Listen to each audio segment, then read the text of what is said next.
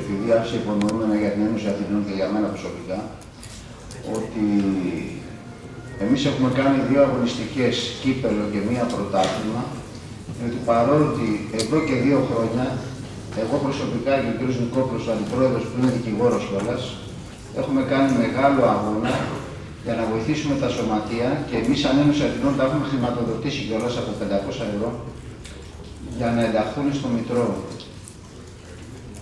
Οπότε από τη στιγμή που τέλος Αυγούστου όλα μας τα σωματεία έχουν ενταχθεί στο Μητρό, δεν είχαμε κανένα δικαίωμα να στερήσουμε τα παιδιά αυτά και τους παράγοντες των σωματείων να παίξουν ποδόσφαιρο.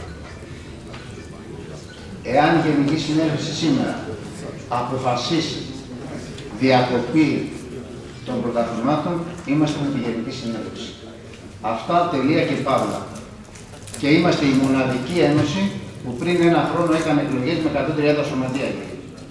Από τα 150. Αυτά προς απάντηση του κυρίου, στον κύριο Γιαρένη. Και στο δεύτερο που ανέφερε, ότι την πολιτική της κάθε ένωσης να την αφήσει στον κάθε πρόεδρο και στην κάθε διοίκηση της Ένωσης. Διότι ανέφερε ότι υπήρχε απόφαση της Εκτελεστικής Επιτροπής για την επανέκδοση των δελτίων να παίρνουν ενός 5 ευρώ. Εμείς, επειδή είμαστε οικονομικά εύρωστοι η Ένωση, τα κάναμε δωρεάν και χαρίσαμε στα σωματεία μας περίπου 500 ευρώ πάλι. Ευχαριστώ πολύ για την αποκατάσταση της αλήθειας.